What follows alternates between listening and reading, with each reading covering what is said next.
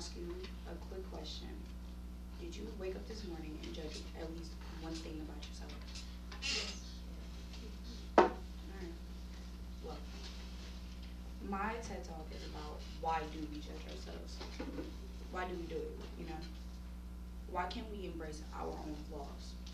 Like, just because if somebody looks prettier or looks better than us, why can't we love our own self?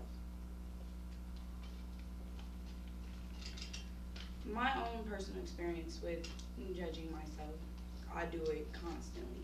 But lately, I've been giving myself pointers on how can I better myself.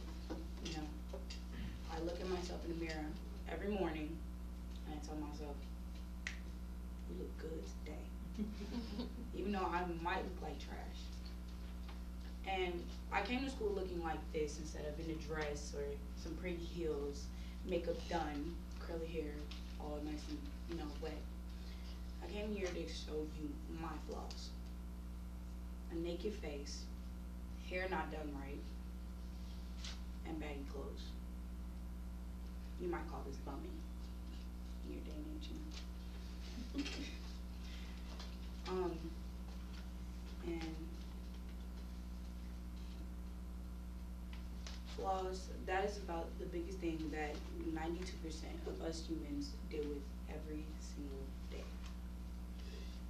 And, you know, sometimes you might go on Instagram, Twitter, Snapchat, those are the top three social medias that people, that people at young ages tend to begin to judge themselves. Well, let me restate that. At the ages of like twelve, basically teenage years, children judge themselves based off what they see on social media.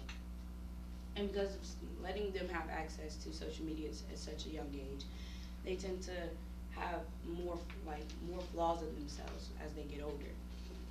Because you know, you see pretty models with the hourglass shapes and clear skin, and some kids might deal with acne and they might chubby, and they want to think, how can I be like that, or why can't I be like that?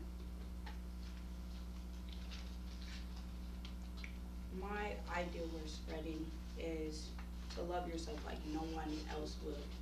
Because at the end of the day, you have to love yourself before anybody else can.